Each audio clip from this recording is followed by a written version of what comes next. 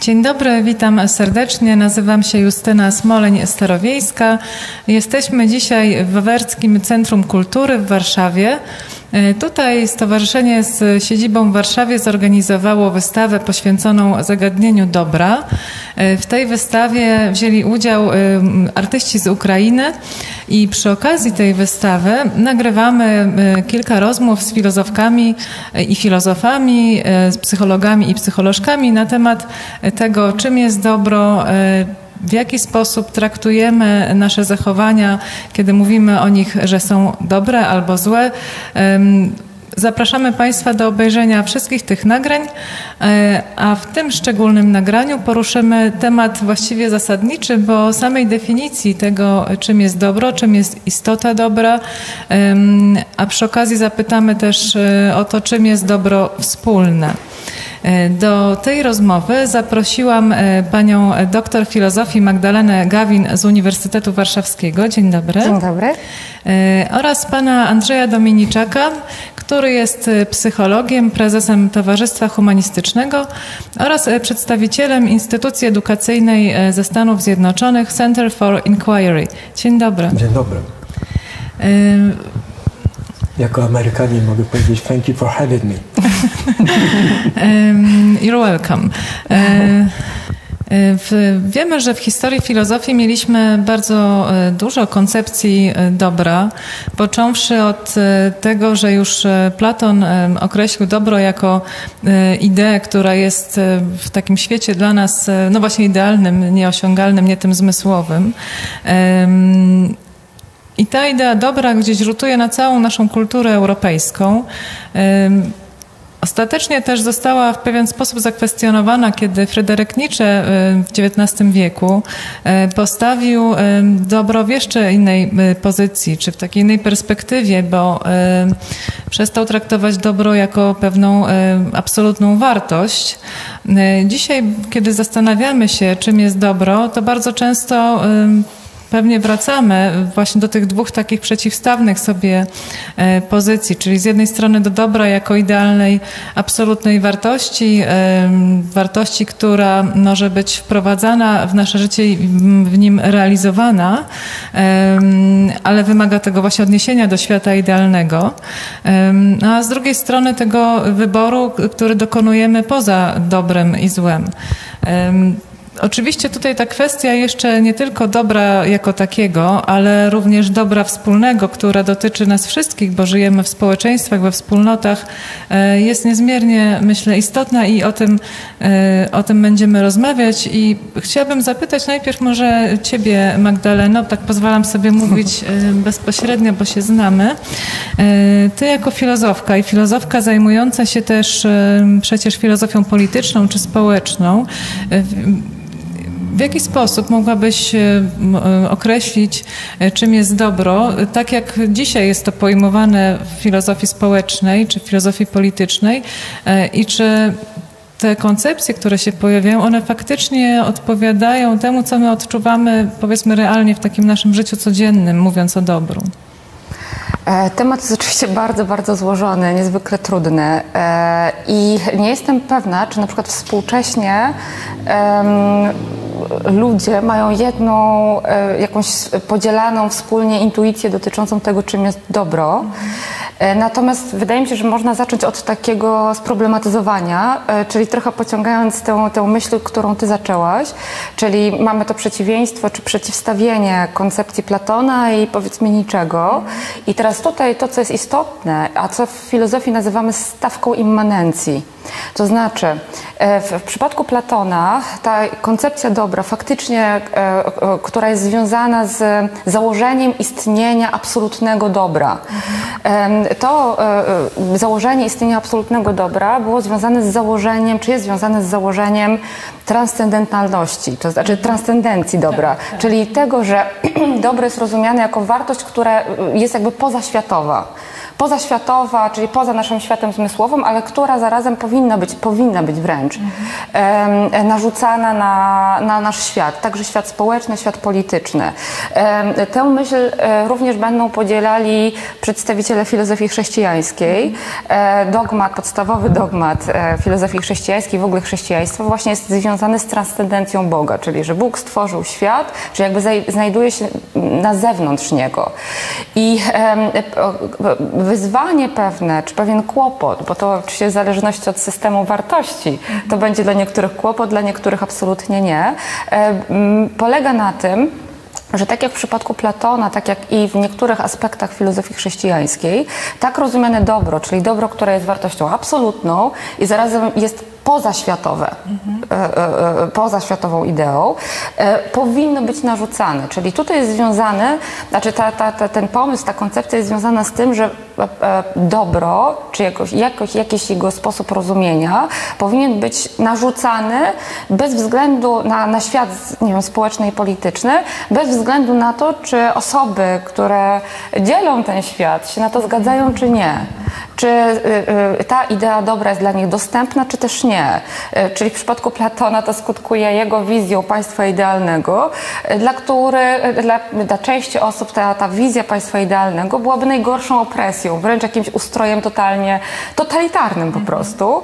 Em, W przypadku chrześcijaństwa również będziemy mieli do czynienia z pewną wizją dobra, która powinna być narzucana, czyli jakby spo, świat społeczny i polityczny powinien być po prostu kształtowany ze względu na pewną jego e, koncepcję. E, I e, owa stawka immanencji jest związana z tym, że myśliciele, i to chyba nawet można już od Spinozy, już, czyli przed Fryderykiem Nietzschem, już od Spinozy można doszukiwać się dobra, no właśnie w, w społeczeństwie, w świecie, w którym żyjemy, tak? Czyli dobro wtedy byłoby wartością immanentną wobec świata.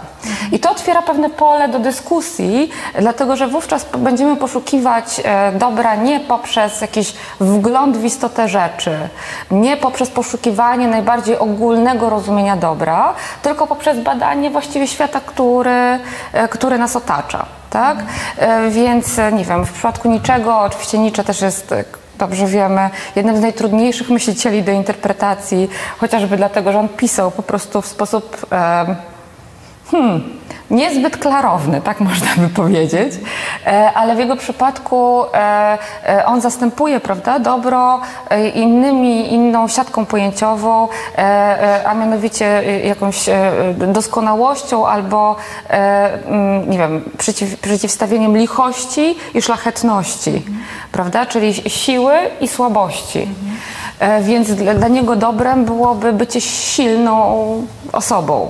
E, To wciąż jest oczywiście taka koncepcja, która nas e, e, w umiarkowany sposób przybliża do idei dobra wspólnego, E, ale właśnie e, każe poszukiwać wartości e, w świecie tym, który nas otacza. I zaraz oddam, bo mam jeszcze pewnie dużo do powiedzenia, ale e, to, co jest tutaj e, też istotne, to jest to, że e, dobro zawsze będzie związane z e, jakąś. E, z wymiarem normatywnym, prawda? Czyli on zawsze będzie związany, dobro, dobro zawsze będzie związane z jakimiś powinnościami. I to nawet na poziomie niczego, Nietzsche oczywiście bardzo by się zdenerwował, gdyby to usłyszał, ale nawet na jego, w jego filozofii ten postulat bycia nad człowiekiem, czyli przekraczania swój, swoich ram, em, swoich ograniczeń właściwie, też jest związany z pewną normatywną powinnością. Andrzeju? Y, Ja oczywiście nie będę robił przeglądu poglądów. Akurat w psychologii pewnie niewielu, chociaż y, jak najbardziej istnieje w psychologii nurt psychologii moralnej czy etycznej, więc dałoby się coś takiego przeprowadzić, ale nie jest to moim zamiarem. Y, Ja chciałem nawiązać do tego, co w którymś momencie powiedziałaś o tym, że to jest zawsze jakaś, chociaż nawiązać częściowo polemicznie, albo nie tyle polemicznie, ile zwracając uwagę na inny aspekt, bo to jest zawsze jakieś y, dobro, zawsze jest jakimś rozpoznaniem czy dążeniem do jakiejś wartości, ale niekoniecznie musi to mieć związek y, z jakąś normatywnością rozumianą jako próbę narzucenia czy perswadowania tego dobra.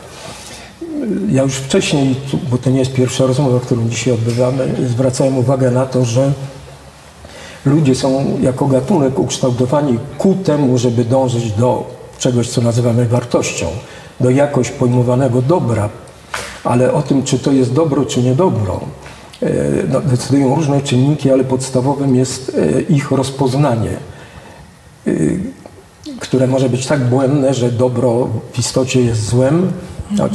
To nawet nie musi być ich własne dobro. Oni na własną zgubę, czyli nawet z punktu widzenia osobistego mogą działać źle przeciwko sobie, ale rozpoznają tak sytuację, ale zawsze prawie jest powiedziałaś wcześniej, intuicja. Co najmniej intuicja, a może właśnie też rozpoznanie jakieś umysłowe, czegoś, co oni nazywają dobrem w danej sytuacji.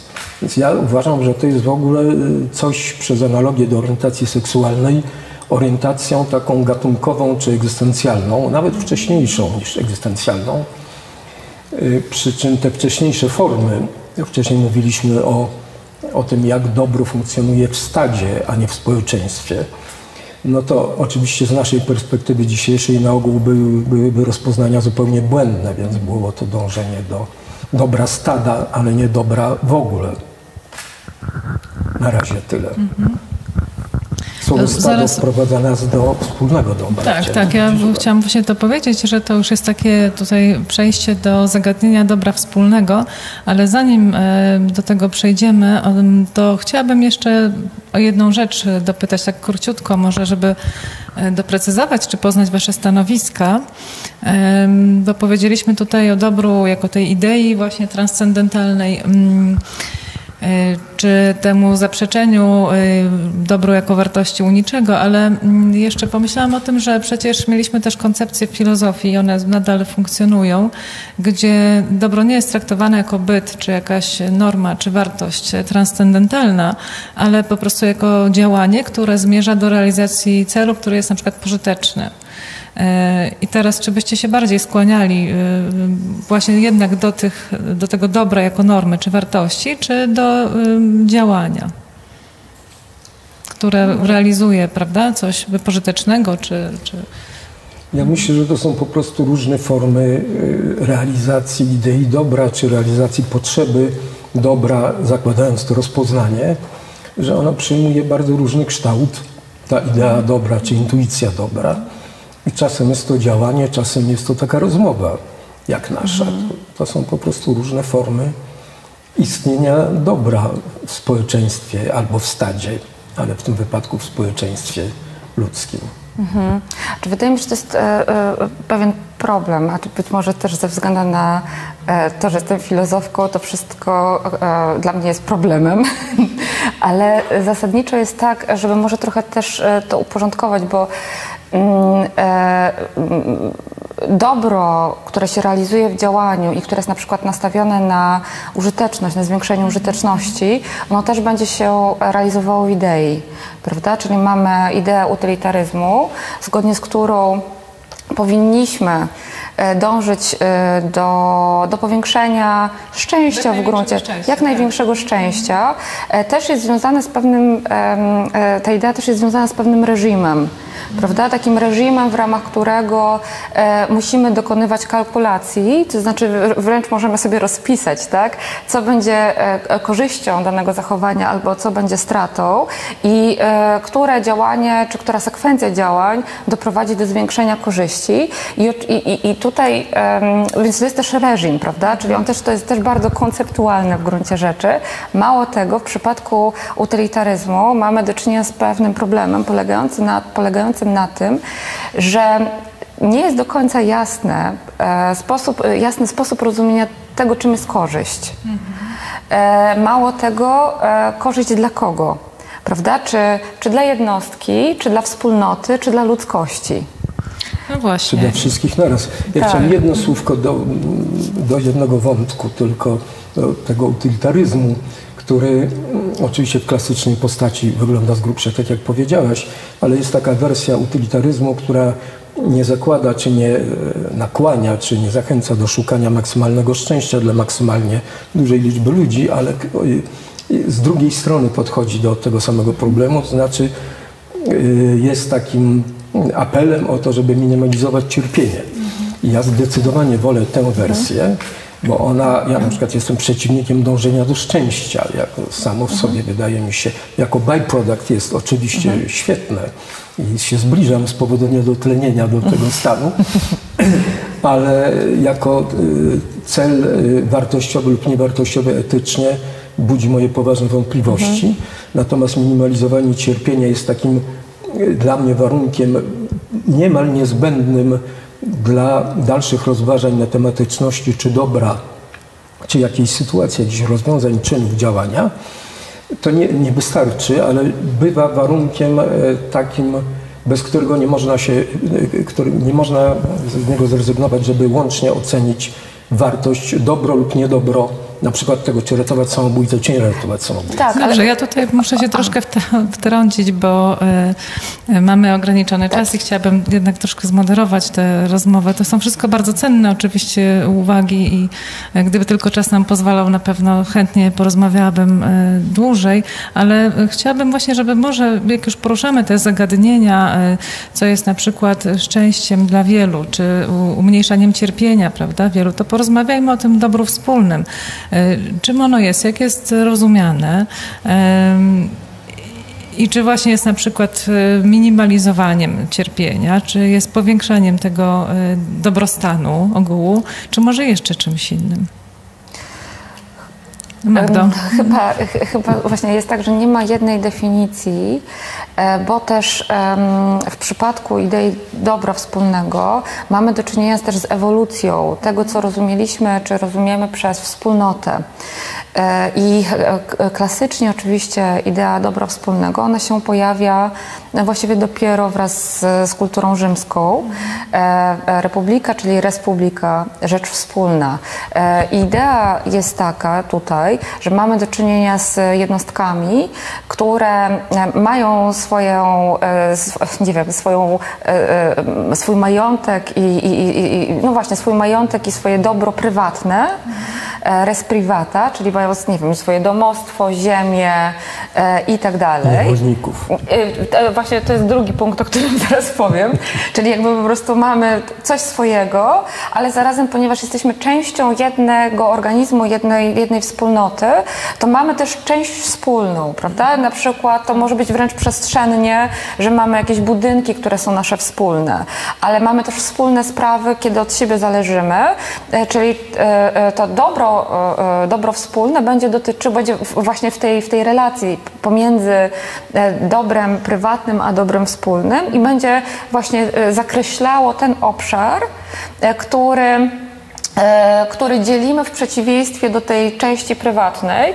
Przy czym, no właśnie ta uwaga Andrzeja, to od razu druga uwaga, którą chciałam poczynić, że w momencie, w którym te, ta idea się gdzieś tworzy i formułuje, jest ona oparta na typie społeczeństwa, które ma charakter bardzo ekskluzywne, mhm. prawda? Czyli e, ta, ta, ta, ta, ta relacja między prywatnym a publicznym, nośnikami e, tego podziału będą obywatele, których była no, garstka właściwie, jeżeli chodzi o mhm. mieszkańców e, e, e, miasta. Czy to będzie Polisz, czy to będzie Rzym, to pewnie nie przekracza 10% mieszkańców. Nie obejmuje kobiet, nie obejmuje dzieci, nie obejmuje niewolników, nie obejmuje ludzi wolnych, którzy jednakowoż nie mają uprawnień E, obywatelskich. Czyli e, e, no i właśnie sam fakt, że już uwzględnia E, czy opiera się na odróżnieniu prywatnego i publicznego, już zakłada w gruncie rzeczy system oparty na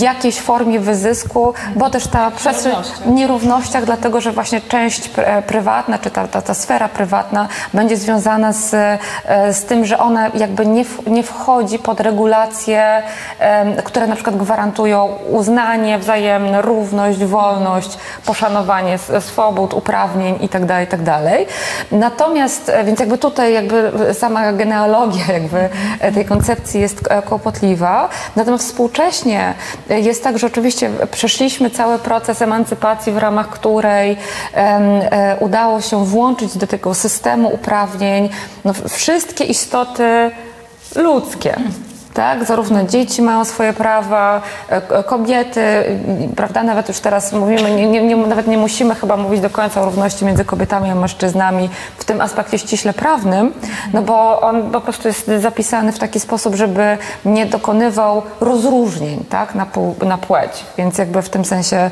e, e, tutaj mamy już do czynienia z pewną inkluzją. E, więc teoretycznie możemy sobie wyobrazić, że wszyscy mieszkańcy mają swoje uprawnienia. W związku z tym dobro wspólne będzie kwestią e, tego, co wszystkie osoby, które zamieszkają, zamieszkują dane terytorium e, danego państwa, mają ze sobą wspólnego, co dzielą, jakiego rodzaju interesy e, ich łączą. No, ale tutaj się oczywiście pojawia problem. Zarówno taki powiedzmy, taki, czy ja wiem, taki ściśle teoretyczny, ale można z niego zrezygnować i odnieść się od razu do takiego pro, pro, e, problemu bardziej praktycznego i przyziemnego. Co z osobami przyjezdnymi? Prawda? Czyli w jaki sposób myśleć o dobru wspólnym w sytuacji na przykład ruchów migracyjnych, a druga sprawa, e, co w przypadku, e, kiedy e, mamy do czynienia z sytuacją, w której proces globalizacji sprawia, że my na poziomie globalnym stajemy się coraz bardziej zależni.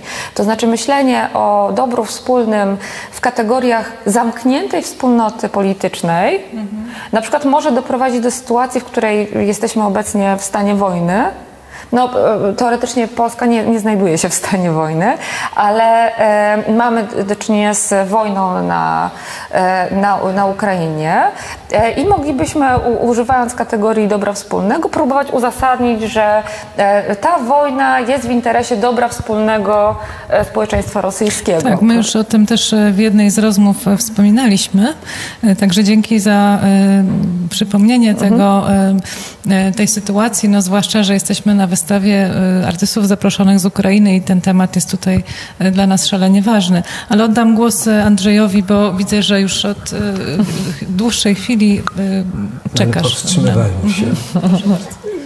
Ja chciałem w kontekście ten, twoje pytanie, odpowiedzieć na to pytanie w kontekście jednak ściśle politycznym. To też było polityczne, ale trochę innym niż ten.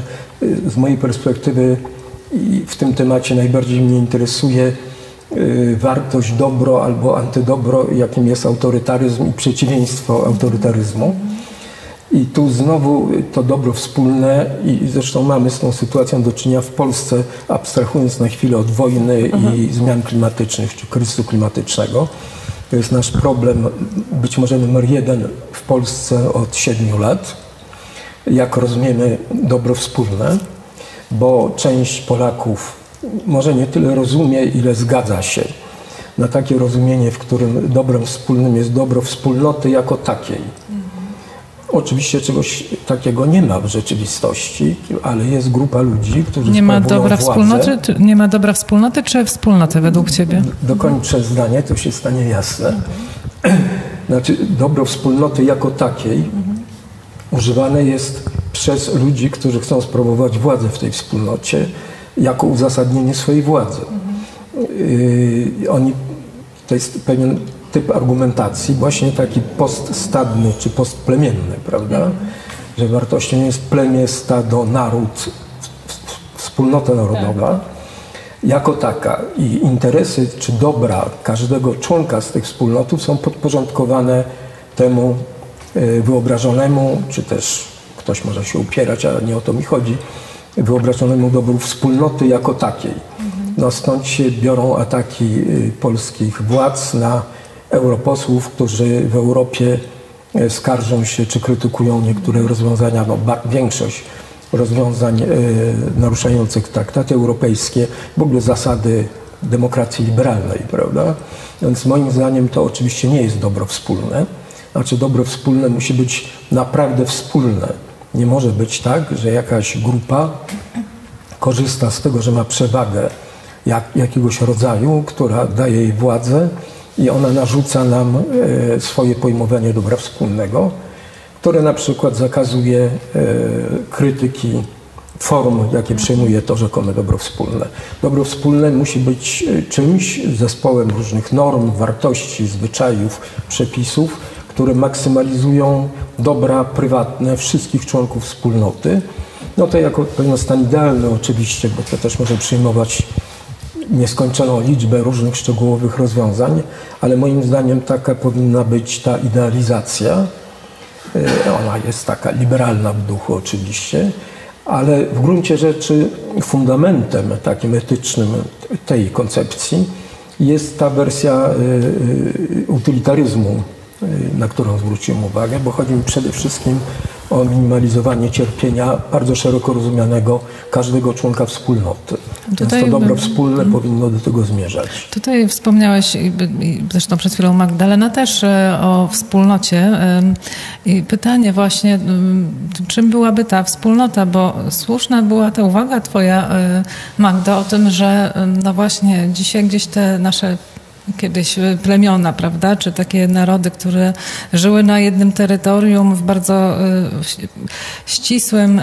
To samo jadły, to samo śpiewały, tak samo się ubierali i to tworzyło tą. Tak, a dzisiaj mamy, dzisiaj mamy po prostu tę e, różnorodność, prawda, której doświadczamy całego świata.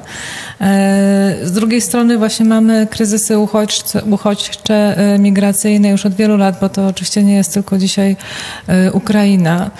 Więc jak moglibyśmy dziś dzisiaj, bo chyba by trzeba było zredefiniować e, wspólnotę. Jak określić wspólnotę jako taką? E, I znowu to, to jest e, w tym sensie problem, że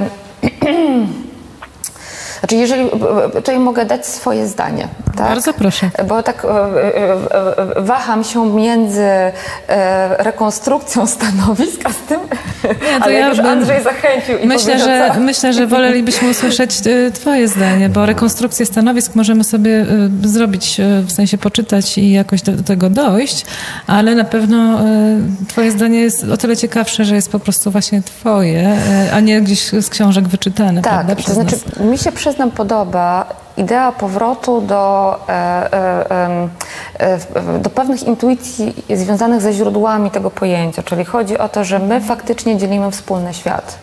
I o ile to oczywiście zawsze było problematyczne, ale o ile jeszcze niedawno względnie czy relatywnie. Można było myśleć o e, państwie jako e, e, zamkniętej jednostce. Ten handel zawsze się oczywiście toczył, te interakcje zawsze miały miejsce. nie ma państwa, które byłoby autarkiczne, czyli jakby niezależne zupełnie. Natomiast współcześnie ten poziom zależności wzajemnej jest no, bezprecedensowy.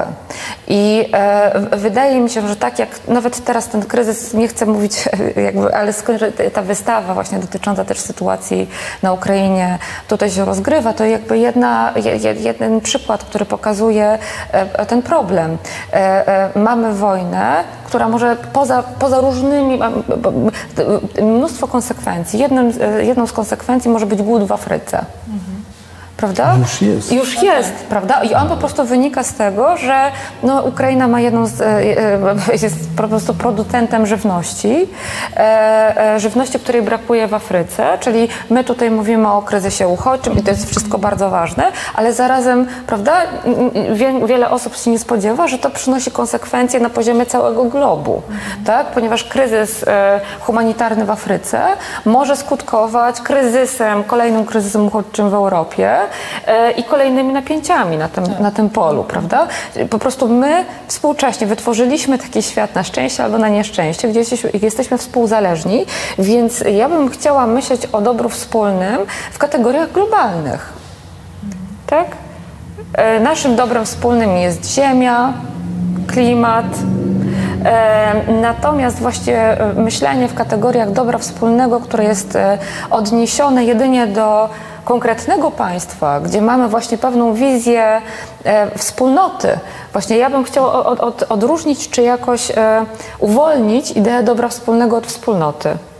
Bo... No ale Justyna pytała o wspólnotę. Czym no, wspólnota? Tak, tak, nie, tak. No, ale ja rozumiem to wyjaśnienie też e, Magdaleny, no bo nie, jeżeli teraz ja przyjmujemy, że ja z czym się zresztą zgodzę, że tym dobrem wspólnym, prawda, to jest mhm. klimat, to, jest, e, to są zasoby e, naturalne, Pokój. tak, no to wtedy rzeczywiście chyba prowadzi to, to do odejścia tego rozumienia wspólnoty jako tej wspólnoty właśnie w takich społecznościach powiedzmy w obrębie jakichś państw, bo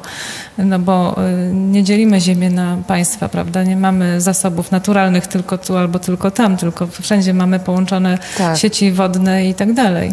Tak, i, i wtedy tylko y, y, a propos tego, że wtedy oczywiście mamy ten podział administracyjny, ale on jest, nie jest jakby pierwotny i fundamentalny na poziomie normatywnym, tylko jest trochę funkcjonalny. Tak. Czyli mamy wspólne sprawy i zarazem jesteśmy, przepraszam, skoszarowani w określonych miejscach i że w związku z tym można się zastanowić, jaka jest nasza, w sensie Polaków czy mieszkańców Polski, odpowiedzialność za, e, za, za klimat na świecie albo za sytuację w Afryce. Dobrze, proszę bardzo. Ja chciałem odpowiedzieć na, jednak na Twoje pytanie o to, czym jest wspólnota dla mnie. A po tym, Magda, co mówiłaś, y, poszerzyłem troszkę tę swoją odpowiedź, ten plan odpowiedzi i podzieliłem to swoje rozumienie wspólnoty na co najmniej dwa, a już mi się zwolna rysuje trzeci rodzaj. Pierwsze byłaby, pierwsza byłaby wspólnota e, taka, którą, co do której ja mam poczucie wspólnoty. E, I to e, chcę o tym powiedzieć między innymi dlatego, że w ostatnich miesiącach to rozumienie, czy to podejście staje się dla mnie coraz ważniejsze w takim jakby w pewnym sensie negatywnym e, sensie, że mi się coraz bardziej zawęża to poczucie wspólnoty, e, w szczególności w ostatnich wręcz tygodniach, gdy dowiaduję się, że mm, wojna, ludobójcza wojna Putina w Ukrainie jest popierana, no mówię, że dokładnie, ale przez blisko połowę ludzkości.